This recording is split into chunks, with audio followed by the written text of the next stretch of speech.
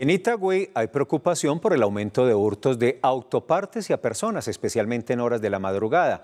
Las autoridades adelantan operativos para contrarrestar estos delitos mientras las comunidades piden acompañamiento permanente. Las horas en las que más se cometen delitos en Itagüí es entre las 3 y las 7 de la mañana.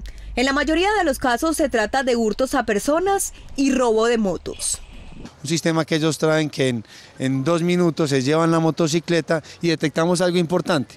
Es que estos delincuentes traen una placa de la motocicleta en que se movilizan, una de más, y esta es la que le colocan a la moto que se hurtan.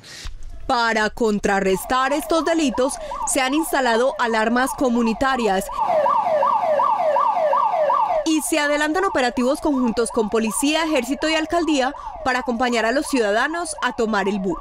Se lo roban parte de ellos y las motos, entonces es excelente colocar no solo la, la alarma, sino el sistema, el sistema de seguridad completo. Este año en Itagüí se han presentado 37 hurtos a personas, 23 de celulares y 4 de motocicletas.